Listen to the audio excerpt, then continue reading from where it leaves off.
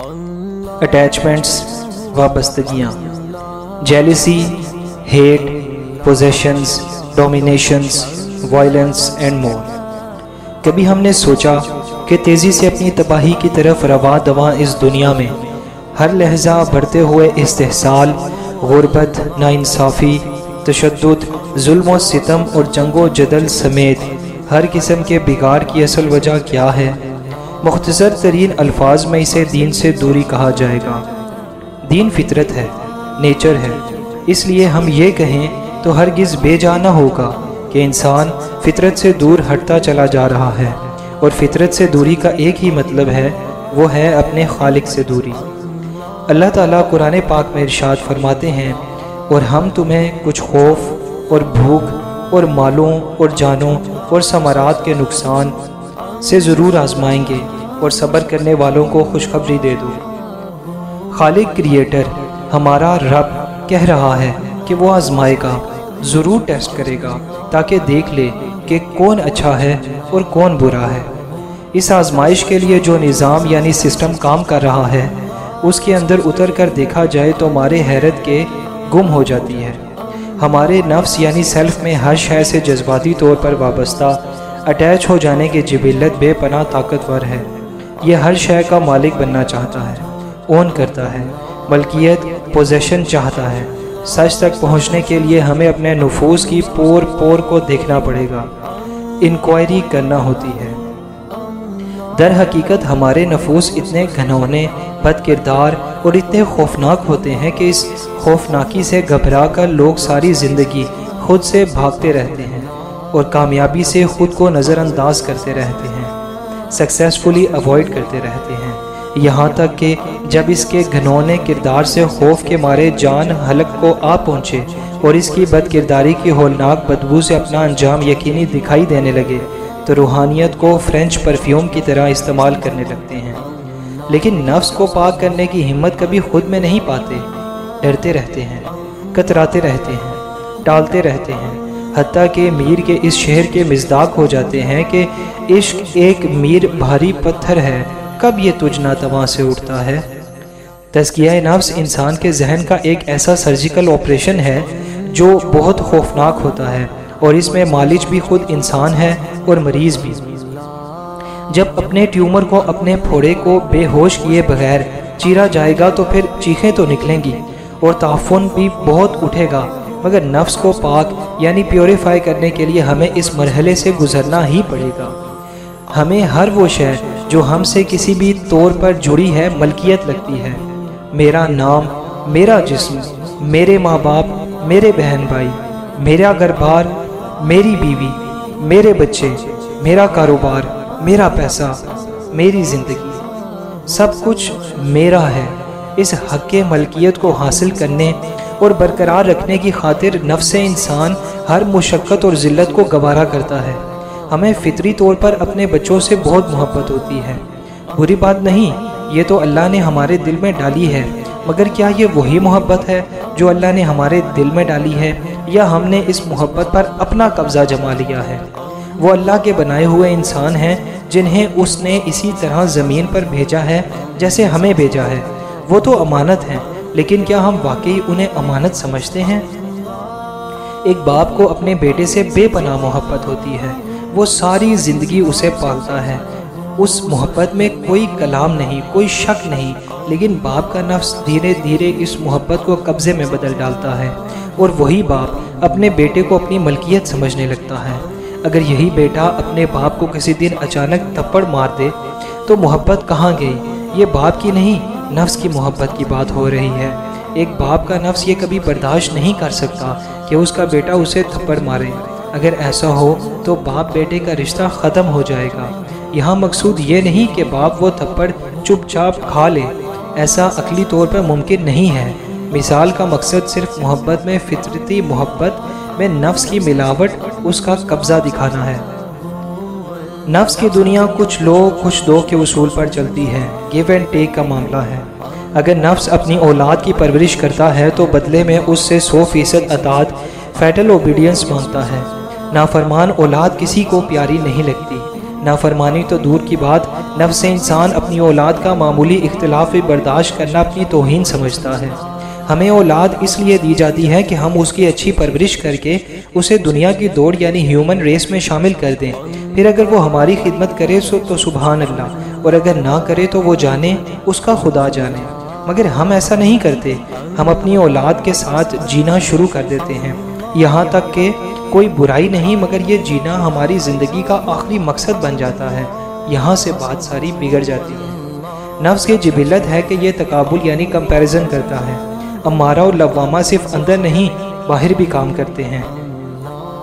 हम लोगों पर हुक्म लगाते हैं, उन्हें जज करते हैं। नफ्स चूँकि अपना सबसे बड़ा हमदर्द है, इसलिए वो दूसरों का जब बाहरी दुनिया में खुद से मवाजना यानी कंपैरिजन करता है, जब दूसरों को देखकर अपना तजिया यानी एनालिसिस करता है तो सारी दुनिया मस्क होकर रह जाती है।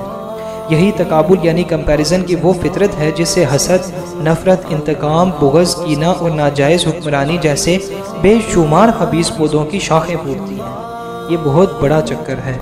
अपने अंदर की दुनिया में आबाद, सोमनाथ में उतरें और देखें कि आप अपनी जानो माल, अपनी सिक्योरिटी से, अपनी चीज़ों से, रिश्तों, नातों से कितने बंधे हुए हैं। किस कदर शिद्दत से अटैच हैं। अपनी वाबस्तगी या अटैचमेंट छोड़ देना आपको किसी सूरत कबूल नहीं है। आपको अपने अंदर जो भी शय जो भी एहसास मेरे का दिखाई दे, इसे पूरे ध्यान से देखें। आपकी फितरत काबिज यानी पोजेसिव है और इस काबिज फितरत को पोजेसिव नेचर को पालने के लिए आपको जुल्म, नाइंसाफ़ी और तशद वायलेंस एंड टॉर्चर से भी काम लेना पड़ता है। हम सब अपनी असलियत में हासिल यानी जेलस होते हैं। बात का खुद हमें एहसास नहीं होता कि हम कितनी गहराइयों में जाकर एक हासिद हैं, हमारे नफूस अपनी फितरत में हाकिम हैं, यानी डोमिनेंट हैं। समझने की कोशिश करते हैं।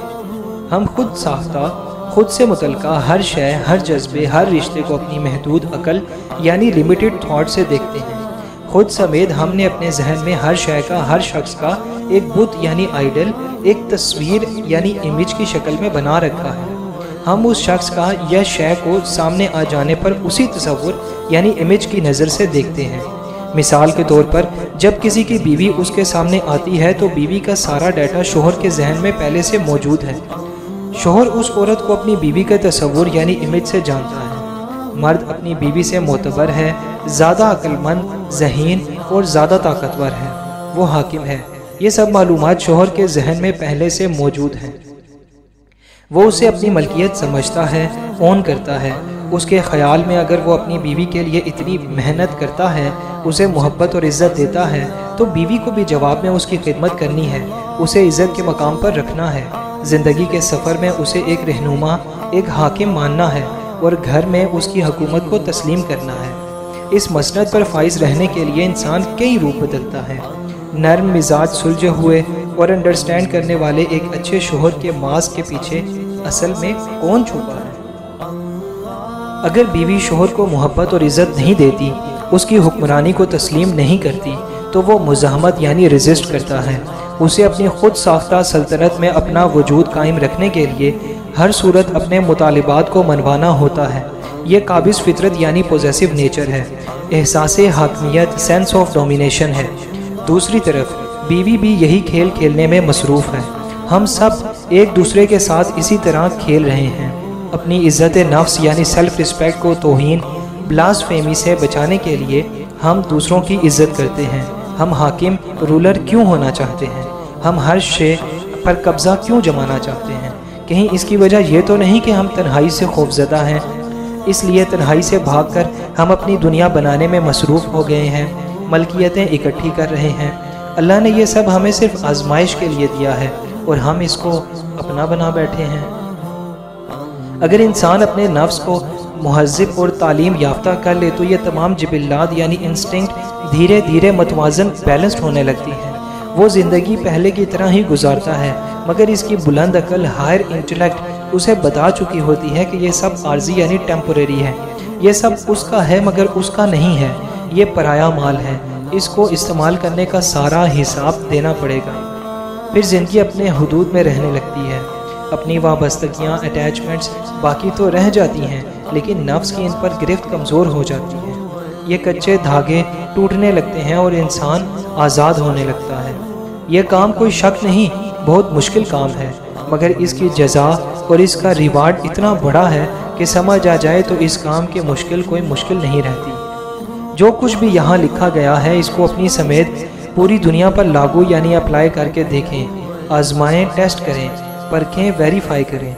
सब समझ में आ जाएगा और जितनी भी नफ्स की मनफी जबिलतें हैं, वो वाबस्तगी से अटैचमेंट से निकल रही हैं। सूफी जब दुनिया छोड़ता है तो इसका मतलब ये हरगिज़ नहीं कि इसने हर शय से अपना नाता तोड़ डाला है। ऐसा तो मजजूब करता है, दीवाना या पागल करता है। अल्लाह का दोस्त तो अंदर की दुनिया से वाबस्तगियाँ कम करता है। जब मन की दुनिया पाक होती है तो बाहरी दुनिया खुद ब खुद निखरने लगती है। ज़िंदगी की खूबसूरती इसके रिश्ते नाते हैं, मगर पागलपन की हद तक इनसे मोहब्बत अल्लाह की दूरी है। और ये दूरी इंसान को जानवर से बदतर बना देती है। एक ऐसा जानवर जिसकी ज़िंदगी का मकसद सिर्फ़ और सिर्फ़ अपनी ज़ात की परवरिश है। अल्लाह ताला कुरान पाक में इरशाद फरमाते हैं, क्या तूने उसे भी देखा जिसने अपनी ख्वाहिश नफ्स को अपना मबूद बना रखा है और बावजूद समझ बूझ के अल्लाह ने इसे गुमराह कर दिया है और इसके कान और दिल पर मोहर लगा दी है और इसकी आँख पर भी पर्दा डाल दिया है। अब ऐसे शख्स को अल्लाह के बाद कौन हिदायत दे सकता है? खुदारा, अपनी ख्वाहिश को ही सब कुछ ना समझें, क्योंकि नफ्स इंसान की एक ख्वाहिश है, जिसमें बाकी सारी ख्वाहिशात कम रही हैं और वो ख्वाहिश वाबस्तगी यानी अटैचमेंट है। और इंसान का रब इसे इन्हीं वाबस्तगियों से आजमा रहा। है